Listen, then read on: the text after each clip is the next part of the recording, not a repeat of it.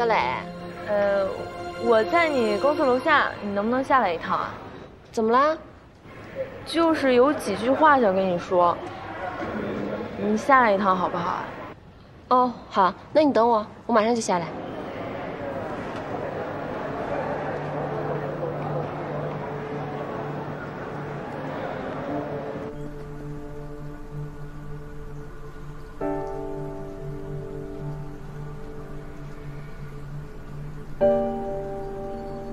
夏言，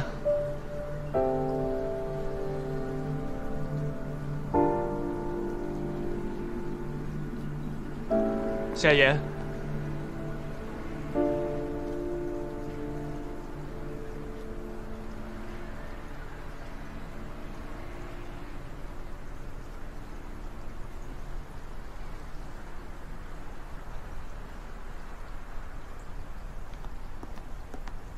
你想说什么就赶紧说吧，我还要回去上班呢。你瘦了。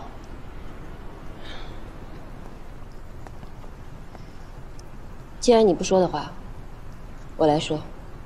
我知道郝杰出国了，我猜你们已经分手了，所以你过来找我，是想看看有没有复合的机会，对吗？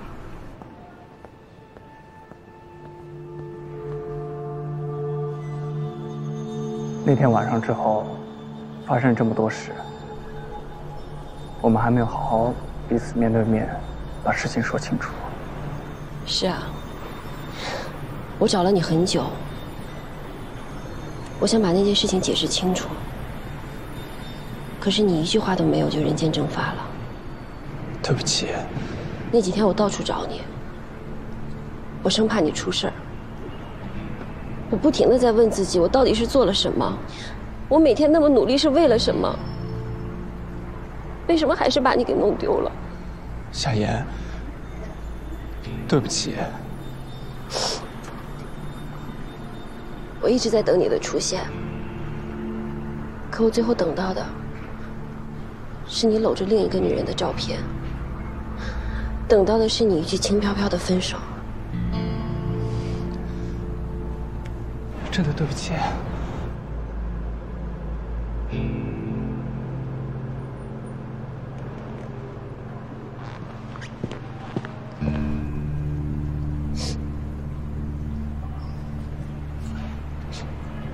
我记得你以前跟我说过，永远不会对我说出对不起三个字，因为那是你做错了让我难过，才会跟我道歉。可你永远不会让我难过。可是就在刚才，你连着说了三个对不起。这次真的是我错了。我当时听到你和那个许晨毅，我的心也是像刀扎一样。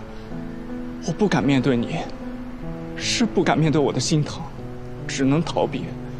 我知道那件事是我误会你了，我也知道自己做错了，可不可以就当什么都没发生过，原谅我？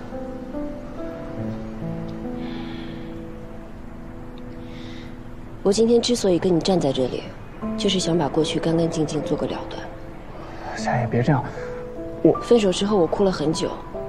我想不明白为什么我们会走到今天这个地步。我曾经以为我们是最般配的。当然，我们是公认的最佳情侣，不是吗？可我发现我错了。看到你跟郝杰站在一起的时候，我发现你们也很般配。我才明白，这个世界上没有哪两个人是必须要在一起的。一切只是看你愿意相信什么。你当初愿意相信我跟许成义不清不楚，是因为那样会让你的选择更容易。你现在又愿意相信那是个误会，是因为郝杰已经走了。不是的，夏言，我是真的还爱你。你愿意相信你还爱我，是因为你暂时没有更好的选择。怎么要这么说呢？不管你怎么想，在我的心里，你跟我已经没有关系了。不管你以后跟谁在一起，我都祝福你。但是，请你不要来找我了。你真的要那么狠心吗？干脆一点，就像你当初离开我那样。我祝你前程似锦。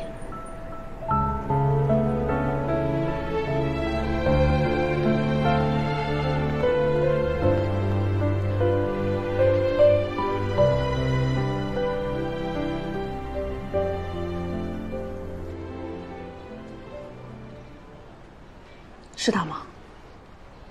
是啊，你查他干嘛？我才没查他呢，我查设计师资料的时候看到的。设计师 Jerry，呃，Design World 国际设计大奖赛金奖，这是全球领先的设计比赛，能获奖的都是顶尖的设计师。可是我从来没有听他提起过呀，他只跟我说他是做出版的，还开了自己的一家书店。他还有一个同名的设计工作室，卖出的款都是限量款。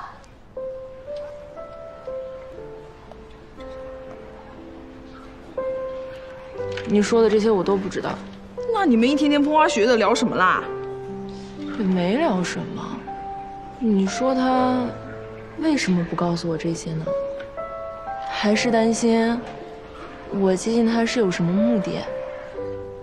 你又想多了吧？他在设计领域是很纯粹的人，出了名的低调。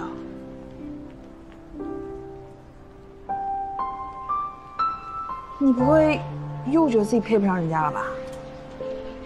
不是，我只是觉得人家太优秀了。这不一个意思吗？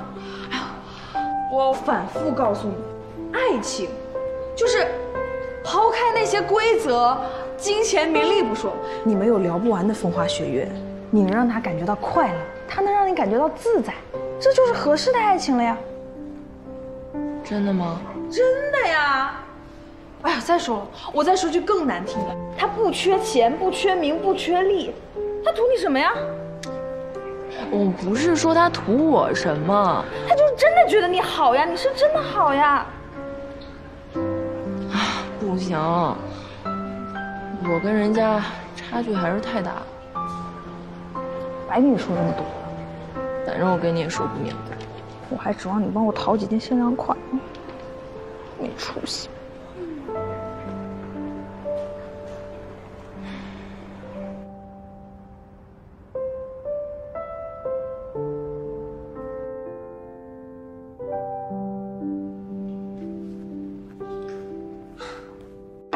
这是小军拿的吧，还给你。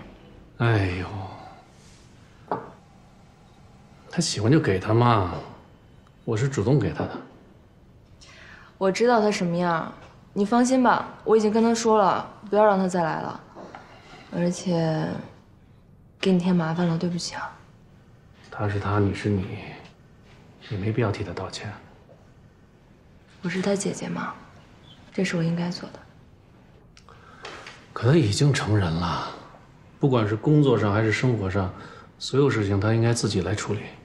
我也知道，可是他才刚步入社会，很多事情都不懂。我要是多照顾着点儿，家里人也能少操点心。